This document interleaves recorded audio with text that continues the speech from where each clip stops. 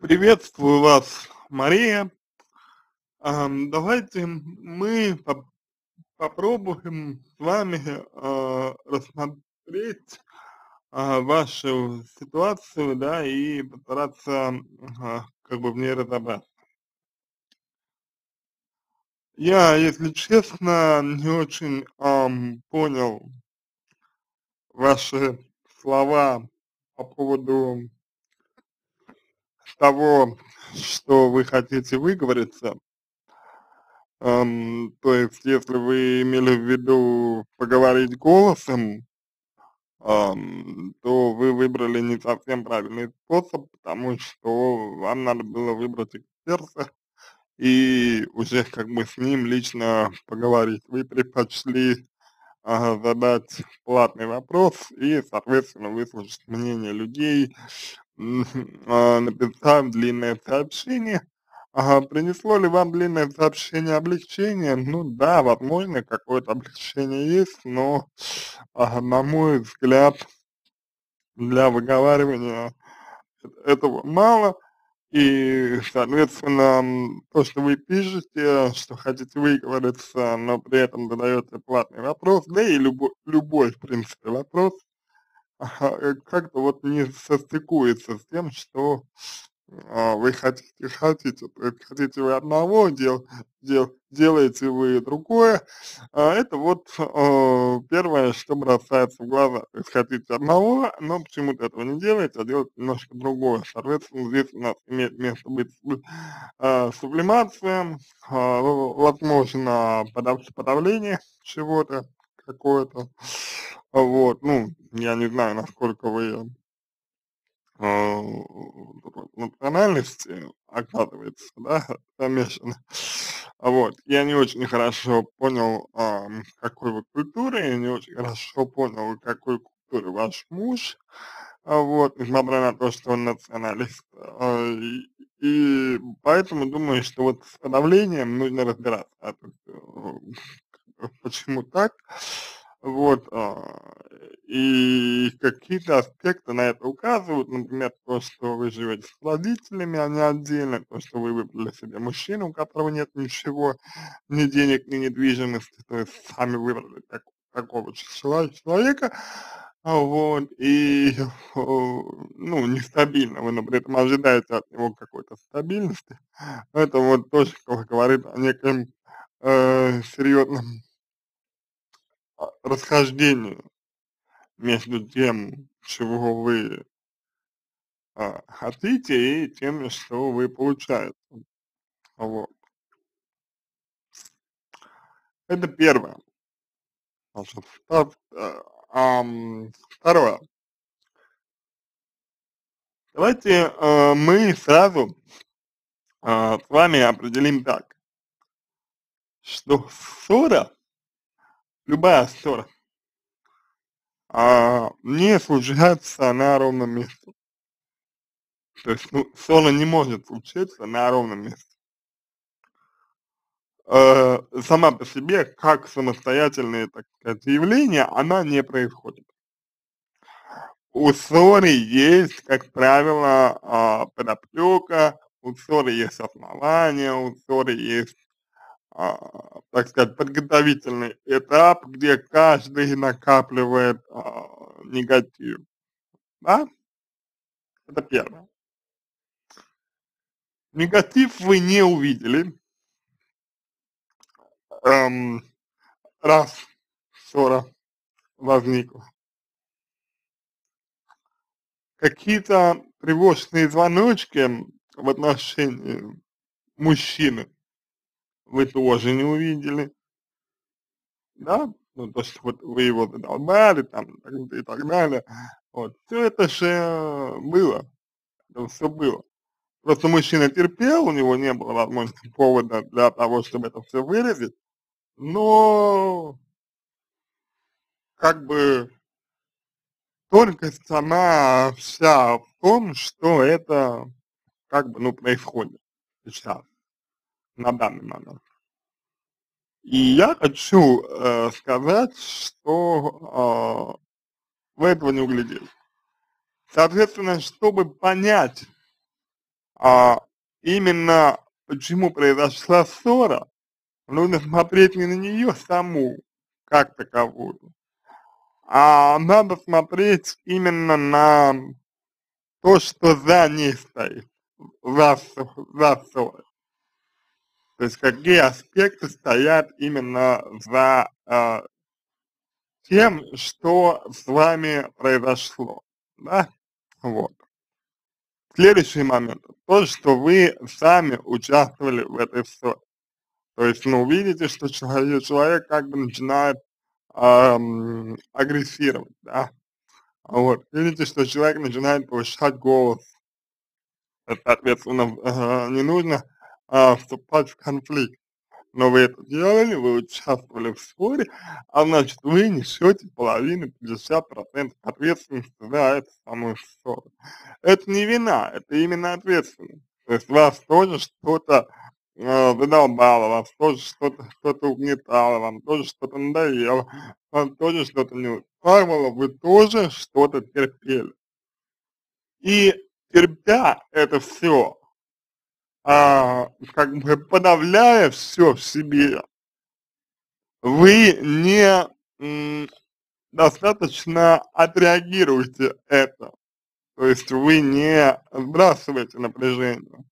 И, соответственно, все это вылилось в сон. Поэтому здесь необходимо проанализировать себя и э, вот отследить этот самый негатив по отношению к мужчине. Ну, как правило, этот негатив, он э, сводится к неким таким ожиданиям, то есть вы чего-то хотели от него, думали, что он будет себя так вести, а вот, а он себя так не повел, и в итоге вы а, обижаетесь на него за то, что он а, так себя повел, и в итоге, соответственно, на него и агрессируют. Ибо агрессия – это, соответственно, э, стремление убрать препятствия к своему удовольствию. То есть, э, как бы свою безопасность вы чрезмерно доверили другому человеку, сами при этом, ну, как бы, не имея плана Б для обеспечения себя безопасностью. Вот, быть, чрезмерно доверили человеку поспешно, потому что не знали о нем таких вещей, а может быть, что-то еще. То есть здесь, конечно, а, вариантов может быть много, но тем не менее, да, вот. То есть ссора на почве обсуждения национальности ребенка и наличия в нем разных кровей, это вообще просто повод. А то, что мужчина националист, у вас в роду таджики, это тоже вообще просто повод. То есть это, э, ну, серьезно, это смешно, как бы. А то, что вы не знали, что ваш муж а, националист, это вот уже куда более серьезно, то, что вы не, зна не знали о его отношении к определенным национальностям, это вот уже куда более серьезно. Здесь говорит о том, что, ну вот это говорит о том, что вы его не так хорошо знали. И, возможно, что вы не так были близки. И, возможно, что вы друг, друг друга а, видели а, только как, а, ну, как мужчину и женщину, как мужа и жену. Но не видели друг друга как людей, людей как личностей, как индиви, индивидуальностей. Вот. И тут как бы вот э, ситуация достаточно серьезная. Да, заметьте, что вы говорите, что оказалось, что муж националист, и что для него э, неприемлемо, что у ребенка там, соответственно, э, ну, для него неприемлемо, ребенка нет несколько кровей, да, ну, разных, разные, как бы, э, виды крови, ну, я так понимаю, да, а вот, вас это оскорбило, что, что вас оскорбило, что вас оскорбило? Что он обидел э, ваших родных? Кого именно он обидел? какое отношение вы имеете к тем, кого он обидел. А вот а, чрезмерные родственные связи, такая привязанность к семье, она создает только а, вашу уязвимость, да, для вас. А, вот. То есть, то есть не разграничение ответственности. Он обидел ваших родных, которых, которых, я не знаю, есть они в живых, нет, но в любом случае это родственники дальние, находясь на эмоциях, а вас это задело. Почему? Ну, какое вы имеете отношение к этим родным? Вот. Да, понятно, что мужчин, да, может быть, вас не уважает и так. Вот. Но тут, я полагаю, а, ваша какая-то вот общая взаимная принципиальность сыграла роль. Потому что, ну, то, что вы оскорбились, это, ну, как, как минимум не мудро, да, вот. То, что он извинения принципиально, э, значит, ну, там, э, не, не дал, это.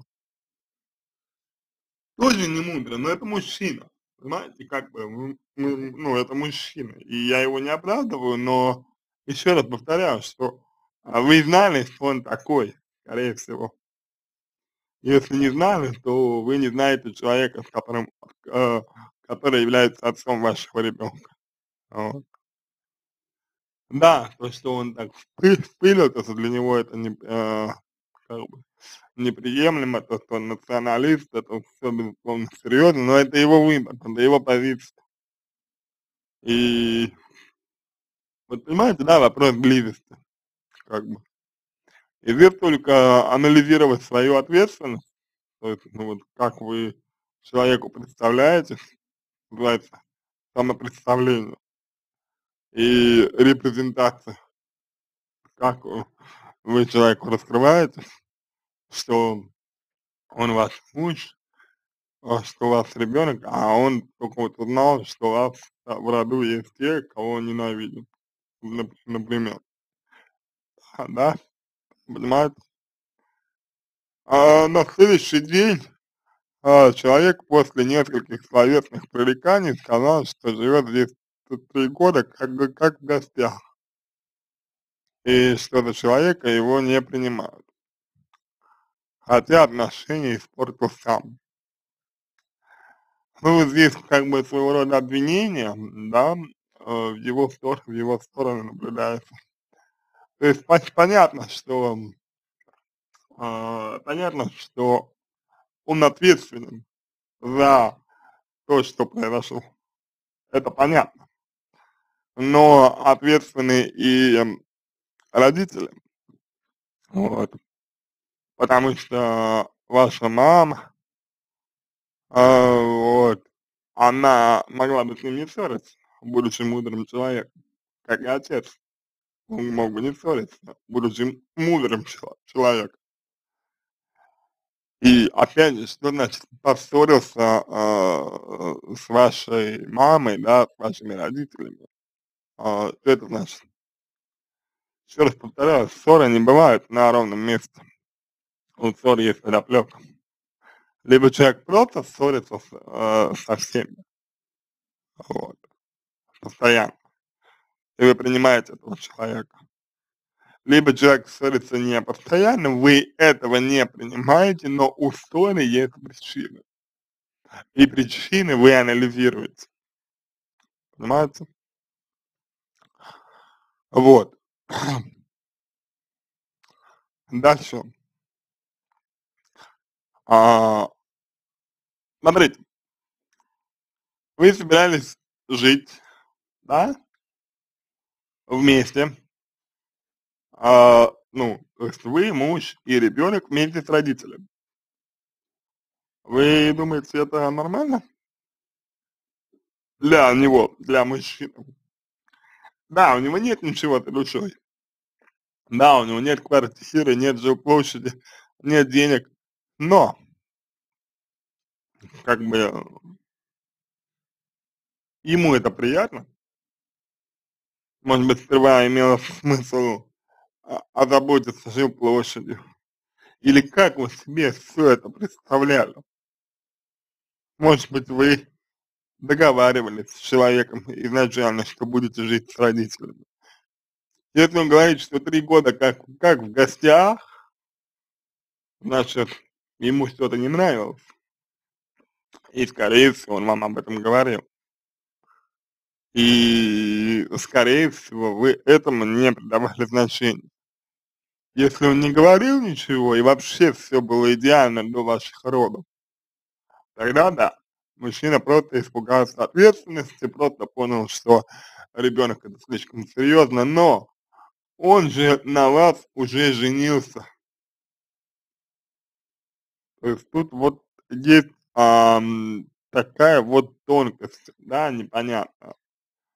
Либо мужчина испугался, если все было до этого идеально, просто тогда действительно этот трус, слабый человек и так далее, но вы же, вы выбрали его, вы выбрали слабого человека, зачем? Это получается ва ваша, э, модель поведения, ваш сценарий что вы выбираете себе такого человека, который зависим бы от вас, у которого нет ничего за душой и, соответственно, который является ведомым по отношению к вам, а вы ведущие, потому что у вас есть что-то. И вы человека, и вы как бы имеете в итоге человека в зависимости от вас. Ну вот, э, тут вот важно ваше отношение к этому. И понимаете ли вы это все? Вы можете сказать, что вот мы там планировали покупать квартиру, там что-то еще, а, планировали покупать квартиру и родили ребенка, зачали ребенка, завели ребенка. Если вы и планировали покупать квартиру, то сперва ну, нужно было, наверное, на нее, на, на нее заработать, и заработать нужно было, наверное, на нее вам обоим. Вот. Ну и родители помогли бы, возможно, но работать. А вы ребенка как бы завели. Ну вот. Это помимо всего прочего, что ам, как бы, ну, то, что мужчина националист, а, если он действительно националист, а, это исключает какой-либо ам, адекватное взаимодействие и с вами, и с дочерью, потому что у них э, течет кровь тех, кого он ненавидит, да, вот. Но это, если честно, странно, очень, очень странно выглядит. Я не знаю, но выглядит это как предлог. Либо как предлог, либо как средство для ссоры. Вот. Потому что, ну, что, ну он что, внезапно оказался националистом, вот просто внезапно. Ну, вы знаете, ну, может быть так, но, но это настолько маловероятно, что вы три, за три года не, не знали, не видели, что он националист, да быть такого не может. Вот. Здесь есть какая-то вот непонятная ситуация, либо вы чего-то не договариваете, либо вы что-то упусти, упустили из виду, либо вы сами что-то не понимаете либо на, наивно. Вот. Что, кстати, вполне может быть, потому что вы живете с родителями. Вот. Вот, если вы привязаны к родителям, у вас нет своей жилплощади, и, соответственно, вы можете быть более, а, как бы, ну, к ним а, близки, и, соответственно, э, те, кто близки к своими родителями, они, как правило, более наивны и а, более как бы не приспособлены к самостоятельной жизни, то есть менее адаптивны, менее адаптивны. Вот.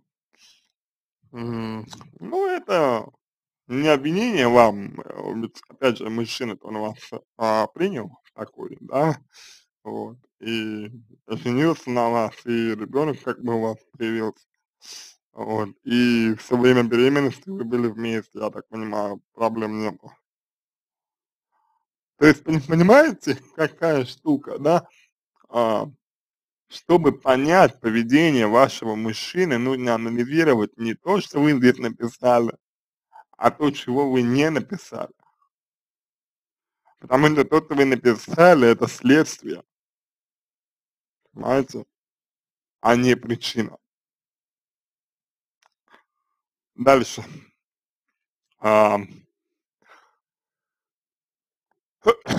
Так, после он высказал, что всё это ему не нужно, оно, имея в виду, а, нашу дочь, тоже ему не нужно. И что ко мне все чувства прошли, я его задолбала, отцовских же чувств к ребёнку так и не появилось, и послал меня куда куда подальше. Ну, это очень похоже на бунт. То есть человек вот себя подавлял, подавлял, подавлял, э, зажимал, зажимал, зажимал, а потом это всё просто как бы взорвалось, и вот он пошёл, э, в бунт. Как вот просто бун бунт, это детское такое поведение. Вот такая вот пови детское поведение. Вот, а личность, а, человека, а, полностью подавилась ребёнком. То есть желание, а, значит, возобладать. Скажем, можно, а, сказать, что у человека случился, а, такой приступ, а, психоза, либо человек, а, стал психотиком на какое-то время. Вот. То есть перешёл все границы, да, а, наплевал на границы других людей, а, и, соответственно, вообще просто всё разрушил. Вот. Может ещё и по-другому быть, что если ва если ваш мужчина- это тот, кто, ну, например, а, всегда всё портил, всегда всё оскорблял, всегда всё унижал, а, разрушал вокруг себя, э, то можно сказать, что он, вот он, м, такой тип определённой личности, а, который в детстве привык наказывать тех, кто вокруг него. То есть это, а, такая модель поведения. Что вот мне что-то не нравится, да, мне что-то не устраивает, меня что-то напрягает, я буду портить, а, всё вокруг себя. Ну и, а, как бы в психоанализе это наз называется, такое вот стремление к разрушению, да, Мартида, энергия Мартидо. И энергия Мартида у мужчины выражается вот так. То есть от чего-то защищаться нужно, а от кого-то защищаться нужно, а, куда-то вот это вот стремление к разрушению девать нужно, де девать его некуда, и мужчина, а, долгое время эту энергию подавлял, и вот теперь она у него проявилась. То есть либидо удовлетворено более-менее, а вот Мартида, очевидно, не удовлетворяет вообще вообще никак, совершенно. А, вот. Значит, про чувства к ребёнку- это именно вот а, ну, это в одну кучу в одну кучу. То есть, может быть, там отцовские чувства и были какие-то, но они привязаны только к матери. То есть они не самостоятельны, эти чувства. То есть бывает такое, что отец ребёнка любит и любит мать. А, и любя мать, он любит ребёнка. А бывает, что он любит ребёнка и и и любит мать. Вот это как бы 2 разные разные фигуры. Вот. Ну, видимо, ваш, а, муж, он, а, не отделил ещё, а, ребёнка от, а, как бы, от вас, и поэтому чувств у него к нему нет. Бывает, что отделяются сразу, бывает, что постепенно, ну, там зависит от человека. Вот. Послал меня куда подальше. Ну, вообще, а, поведение, поскольку детское, то всерьёз его вот воспринимать не не стоит. То есть обычно люди так отношения не рушат вообще. То есть подобным образом, а, на подобных эмоциях, а, на подобных тонах обыч обычно при принятие серьё а, серьёзного решения не происходит. Вот. А, ну и дальше вот всё в таком духе, да, что не будут помогать физически с ребёнком, алименты будет платить. А, вообще здесь, а, ещё, на мой взгляд, есть проблема, а, ожиданий, а, точ точнее, проблема ам, ответа на них. То есть мужчина знает, чего от него ждут, понимает, чего от него хотят, но чувствует, что не может этого дать. Из-за этого чувствует себя неполноценным, и из-за этого возникает такая вот защитная реакция у него.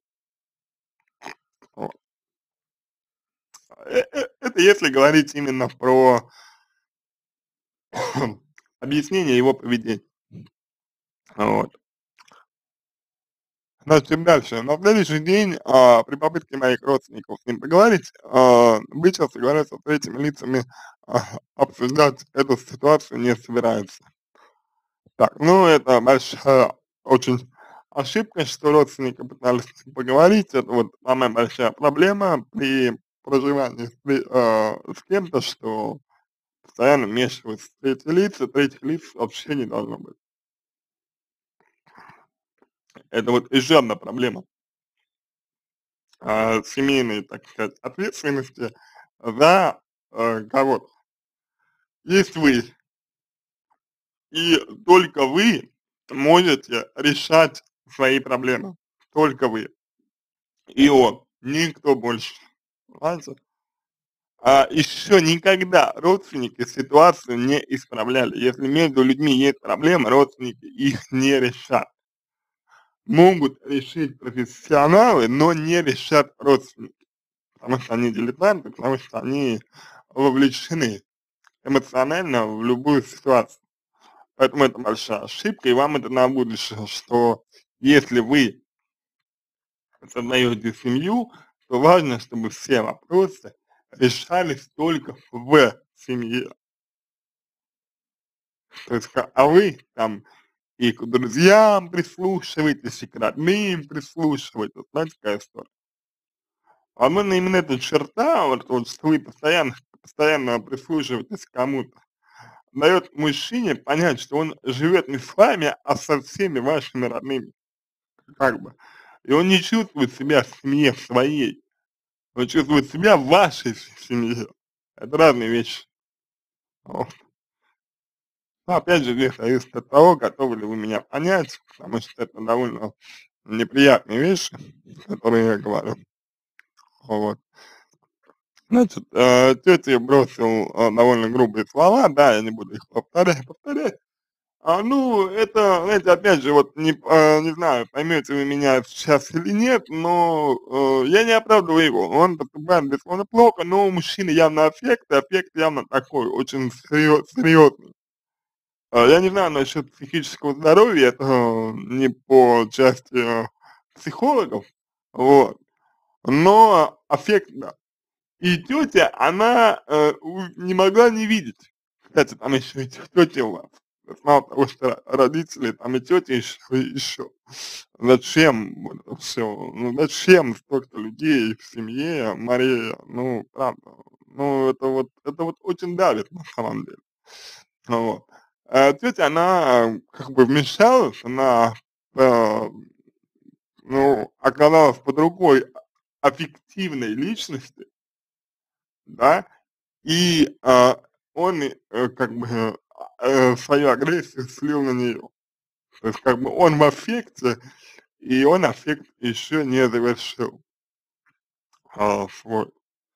Поэтому то, что он сказал, состояние аффекта, это нормально.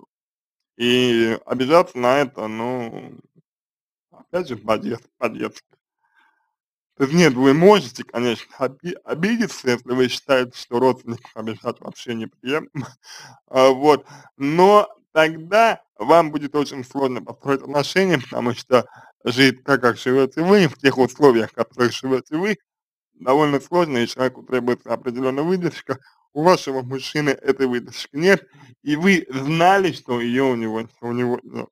И, соответственно, вы чего-то, на что-то надеялись, э, вступая с ним в брак. Вот на что надеялись, большой вопрос. А, при нашем разговоре а, еще раз меня послала, через 10 минут после этого написал, что любит а после последовали сообщения. Ну да, это вот состояние аффекта, состояние очень серьезных эмоциональных переживаний. Ну, вот. Далее идет манипуляция самоубийством, вот, то есть это уже истерика, видимо, похоже, истерика, ну вот.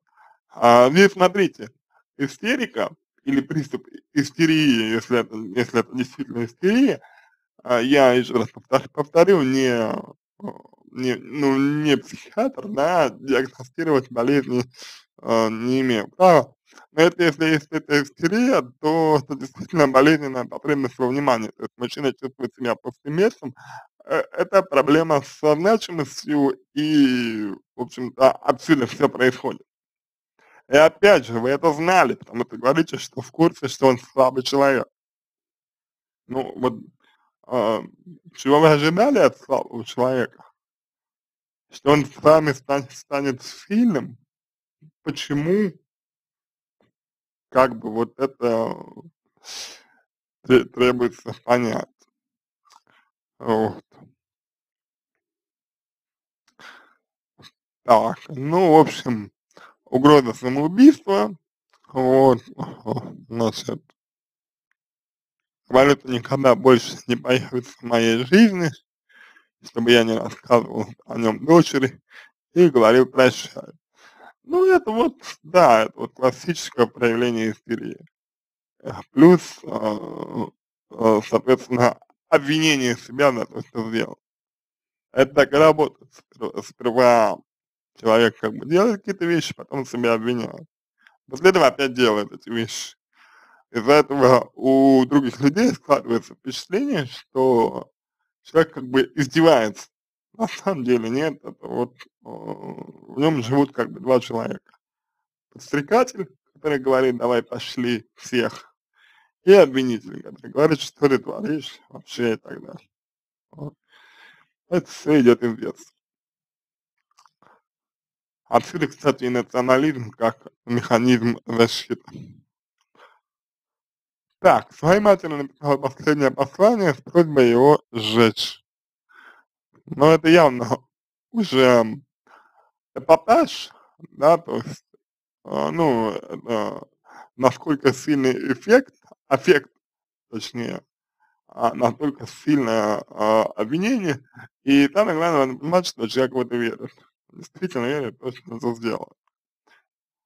Далее мама позвонила вам, естественно, переживая о том, как он, я позвонил ему, оказалось, что он мирно где-то спал.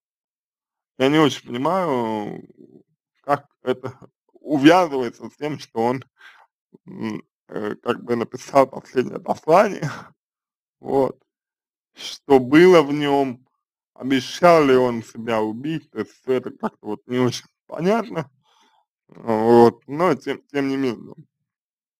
Я прекрасно понимаю, что это слабый человек, пишите вы, что все его поведение – средство манипуляции.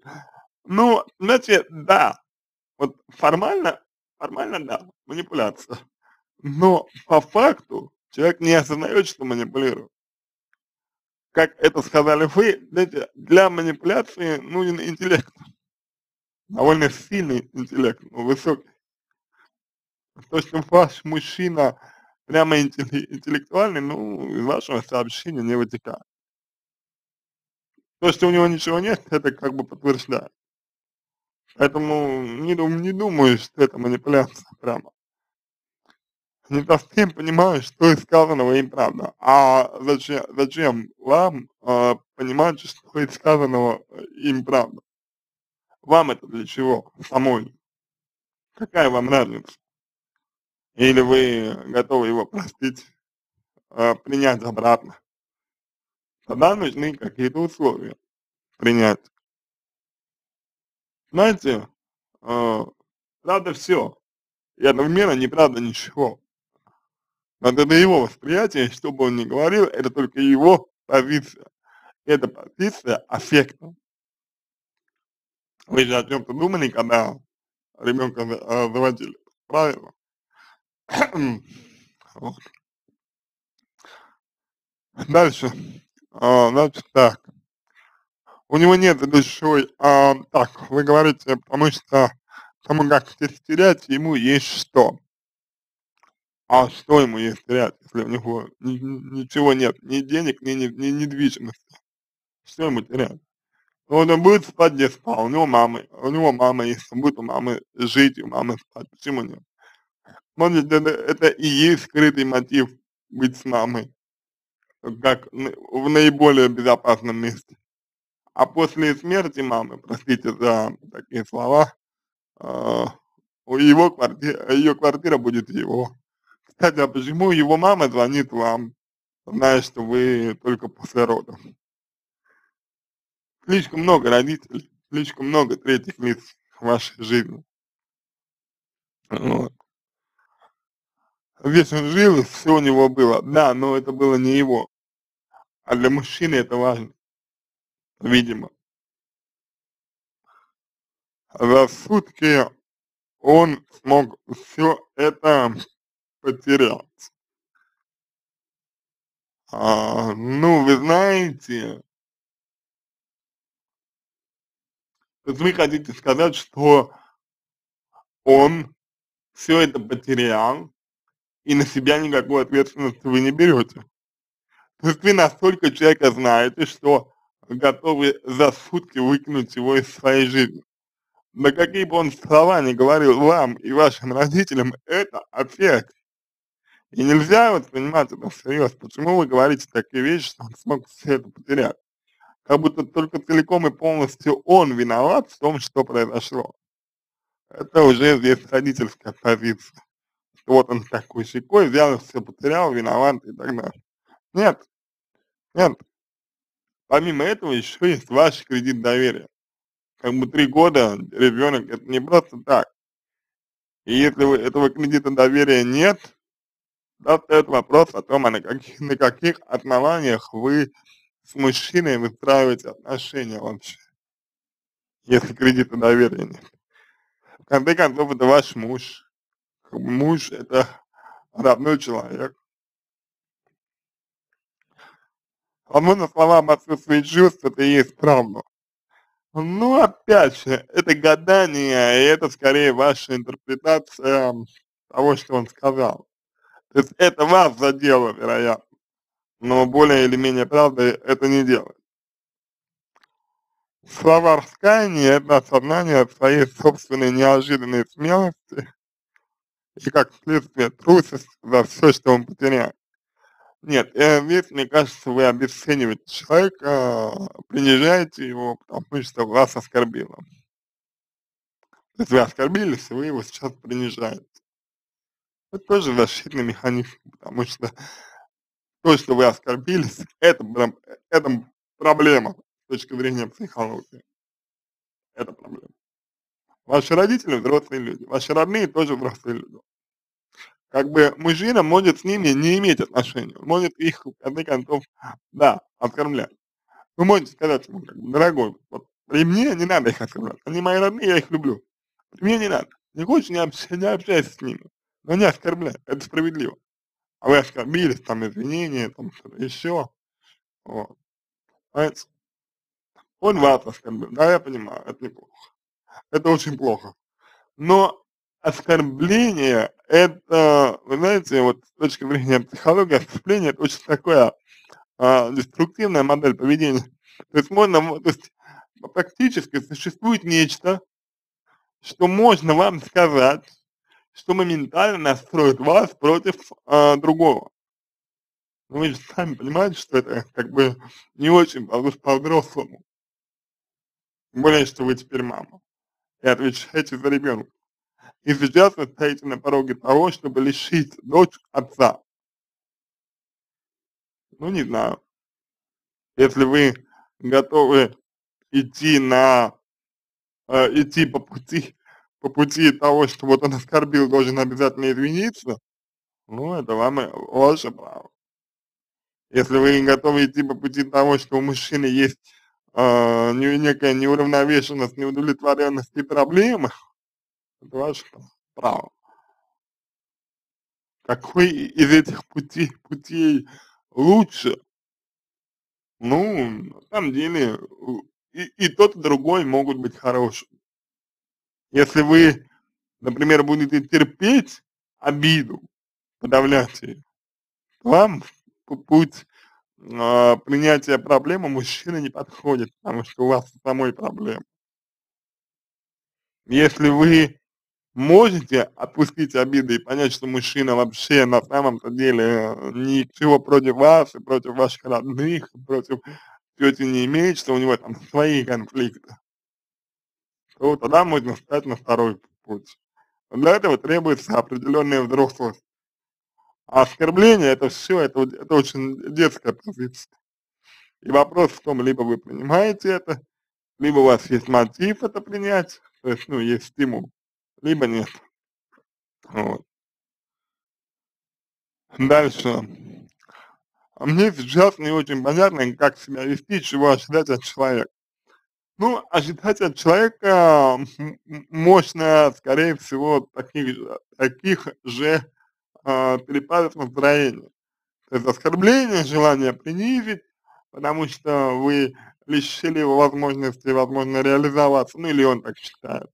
Не, не важно, что это он сам себя лишил. Вот.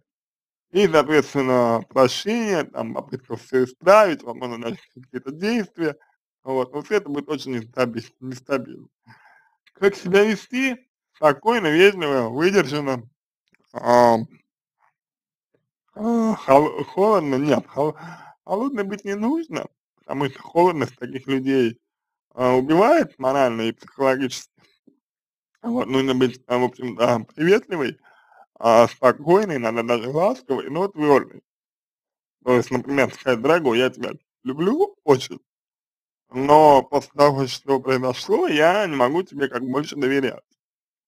И если ты хочешь быть с нами, то а, обратись к а, психологу, к врачу, может быть, мы тебе поможем, деньги, деньги как бы дадим, оплатим, все вот это.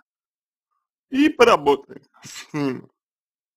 Пусть тебе помогут, чтобы я могла тебе доверять, потому что, ну, объективно, сам подумай, вот, ребенок, он будет, а, если у тебя еще такие всплески будут, то на, на ребенка какой заряд негатива, понимаете? То есть очень важно поставить грамотные условия, но без обвинений на самом деле. Это не говорит, что ты должен там что-то сделать. Нет.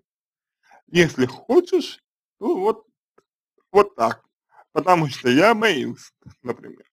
Разговаривать просто, я боюсь. И все. Поэтому вести себя нужно так. Понятно, что со, э, самой на, на, на контакт идти сейчас не надо. Пусть подумает, пусть э, поразмыслит, пусть приведет свои мысли в, порядок, вот. там еще будет думать вместе. Дальше. А, значит, так. А, строить ли с ним отношения, ну, это, это решать только вам, Мария, и здесь, опять же, проявление вашей неуверенности в себе и, вероятно, излишней, а, излишней модели психотической есть у вас тоже психотическая модель поведения, вы тоже привязаны к другим людям, вы тоже недостаточно самостоятельны, даже как и он, по большому счету. Вот. Просто он по-своему, вы по-своему. И то, что вы сами для себя не можете занять четкую позицию, говорит либо о том, что вы боитесь, либо о том, что вы, вы не уверены в себе, а, соответственно, себя не любите и не принимаете, либо о том, что а, у вас нет четкой системы ценностей ваших либо они поня э, не, не э, скажем так, об отсутствии э, четкого представления о том, что вы чувствуете к нему. Если вы любите его, ориентируйтесь на его счастье. Что для него будет лучше всего. Если вы его не любите, ориентируйтесь на себя, что вам будет лучше всего. И исходя из своих, из, из своей системы ценностей, если семья для вас это превыше всего, и таковы ваши ценности, и менять эти ценности вы не хотите, то есть вы не считаете, что они вам вредят, эти ценности, ну тогда, помимо условий работы с, э, с психологом, э, у мужчины будет еще одно условие, и извинение перед всеми вашими родственниками. Но выпол выполнимо ли это условие, это уже вопрос другой. И не будет ли это э, такой полусознательной манипуляцией с вашей стороны, это уже вопрос. Далее, э, значит, так. А, потому что э, явно налицо психическое расстройство, э, и непонятно, чем это может закончиться. Ну, вы не врач, я тоже, чтобы диагностировать. А, то есть я это аффект, аффект бывает у всех, это нормально. Прощать его, принимать или лечить. Вот плохо, что вы спрашиваете у нас об этом. Это вам решать. За вас мы это решение не примем. Отталкиваться нужно от своих чувств и от своих ценностей, от своей позиции. А, так. Или же бежать от него куда подальше, потому что дальше будет только хуже. Да не факт. Поставите себя грамотно, не будет хуже четкие границы установите свои личные, не будет хуже. Мужчина будет знать, что, что есть грань, куда нельзя доходить. И все.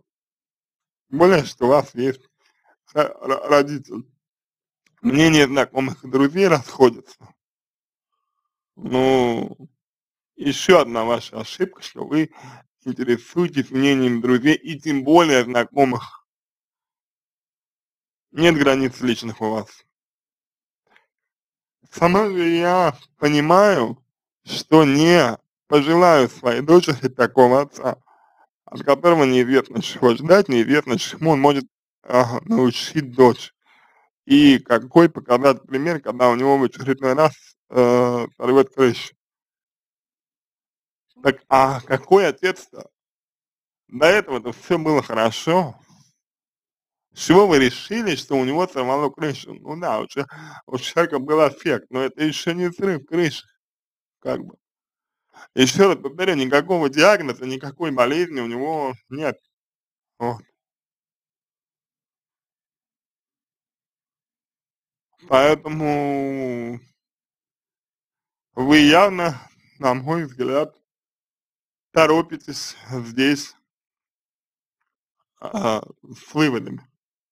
Вот. И слишком далеко забегаете вперед. Что опять же говорит о некой, некой идеализации и мужчины рядом с вами, о некой идеализации института семьи и так далее. Очень хочу выговориться, разобраться с кашей в голове, потому что я все-таки люблю этого человека. И хоть и пытаюсь сейчас быть холодной, но это все больно. А любовь у вас какая, Мария? Для себя любовь или для него любовь? Больно-то вам почему? Ну, человек сейчас э, свободен. Человеку сейчас хорошо. Ну, в любом случае, ему лучше, чем, э, чем было до этого очевидно. Он спит, ему нормально. Вам, если вы любите его чистой, искренней любовью, ага, должно быть вообще прекрасно. У вас есть родители, одна вы не останетесь, как бы. То есть этот вопрос нормальный алименты еще с него требуют, и вообще будете жить хорошо. То есть, как бы, с этой точки зрения, а, как бы, все здорово, но вам больно. Вопрос в том, почему? И как эта боль связана с любовью. Далее, а, выговориться. Ну, про выговориться я уже сказал, про э, каша в голове. Здесь я могу э, сказать только то, что каша в голове будет, будет до тех пор, пока в вашей жизни личной будут присутствовать другие люди. Вот в чем мужчина прав, это это в том, что с третьими лицами обсуждать подобные вещи нельзя. И третьи лица никакие, никто не должен вмешиваться в то, что происходит между двумя людьми. И что ребенок должен разделять свою семью, где есть мама и папа, и других. У вас же этого не происходит. И отсюда у ребенка может быть такая, такая же каша в голове, как у вас. Нет личности, нет э, соответствующих эдипальных процессов, которые происходят в норме. Нет индивидуализации на достаточном уровне. В большей степени коллективное мышление да, образуется. Вы подумайте, вы, вы чего хотите для ребенка своего? своего? Вот. вот так. Я думаю, э, именно так можно вам ответить на ваш вопрос. Надеюсь, что помог вам. Если у вас остались дополнительные вопросы, пишите в личку, буду рад помочь. Если вам понравился мой ответ, буду благодарен, если сделаете его лучшим. Желаю вам всего самого доброго и удачи!